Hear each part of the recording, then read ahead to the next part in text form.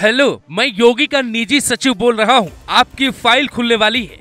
जब बस्ती के डीएम को आया फ़ोन, बाबा की बुलडोजर से बचाने का दिया भरोसा। लखनऊ से हमीरपुर तक मचा हड़कंप जब 20 से ज़्यादा अधिकारियों को आई कॉल। यूपी के बस्ती ज़िले के डीएम के आवास पर एक कॉल आती है। ट्रू कॉलर पे नाम लिखा आता है योगी आदित्यनाथ। डीएम का कॉल रिसीव करने वाले आशु लिपिक को लगता है कि सीएम साहब ने फ़ोन किया है। वो घबरा कर फ़ोन उठाता है, तभी सामने से आवाज़ आती है। हेलो, मैं योगी का निजी सचिव बोल रहा हूँ। आशु लिपिक कहता है, जी सर, बताइए। डीएम आंद्रे वामसी की फ़ाइल लखनऊ में खुलने वाली है। अगर ट्रांसफ़र रुकवाना चाहते हो तो डीएम साहब को बोलना, शाम में बात करे। आशु लिपिक कहता है, ओके सर। आंध्रा वामसी की गिनती तेज तरार ऑफिसर के अलावा आरोपों से घिरे ऑफिसर की लिस्ट में होती है। जब वामसी झांसी में तैनात थे, तब एक पत्रकार ने उनके खिलाफ शिकायत दी थी, जिसके बाद योगी सरकार ने पद से हटाकर वेटिंग लिस्ट में डाल दिया था। इसीलिए जब कॉल आई तो आशु लिपिक के भी होश उड़ गए। लेकिन उसके बाद जो हुआ, उसने सबको हिला के रख दिया। डीएम साहब ने तुरंत लखनऊ में कॉल मिलाया। जिस नंबर से कॉल आई थी, उसे वहाँ चेक करवाया तो पता चला कि नंबर फर्जी है। अब उस कॉल करने वाले की तलाश होने लगी। सर्विलांस की मदद से पहचान हुई तो पता चला कि कॉल करने वाले का नाम विवेक है। वो आगरा का रहने वाला है। अब डीएम के आशु लिपिक ने उसे फ़ोन मिलाया और पैसे देने के बहाने आमहट बुलाया। जहाँ पहले से मुस्तैद खड़े एसटीएफ के जवानों ने उसे गिरफ़्तार कर लिया, लेकिन अभी संकट टला नहीं था, बल्कि उसने जो खुलासा किया उसे सुनकर कई अधिकारी सदमे में आ गए।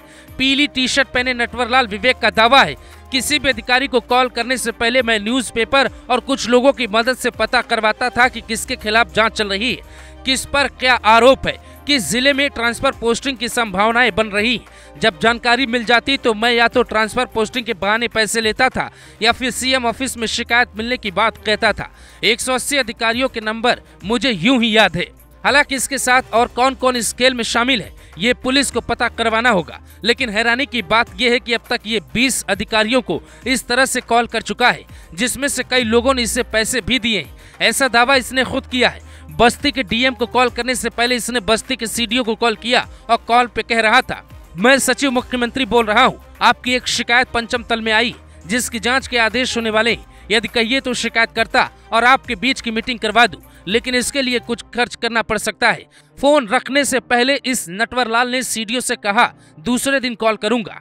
तब तक सोच समझ लो, लेकिन दूसरे ही दिन डीएम को फ़ोन कर ये फंस गया और इसकी सारी जालसाजी पकड़ी गई। ऐसे लोगों के झांसे में वही ऑफिसर आते हैं, जिन्हें ये डर होता है कि कहीं बाबा फ़ाइल न पढ़ ले, कहीं हमारे ऊपर ही बुलडोजर न चल जाए, वरना ईमानदार अधिकारी सीधा ऐसे लोगों की शिकायत करते हैं। जब अधिकारी ऐसे लोगों के झांसे में आ जाते हैं तो आम लोग क्या ही दिमाग लगा पाएँगे? इसीलिए ऐसे लोगों से सावधान रहिए, कोई भी ऐसी कॉल आए तो उसकी जाँच करवाइए।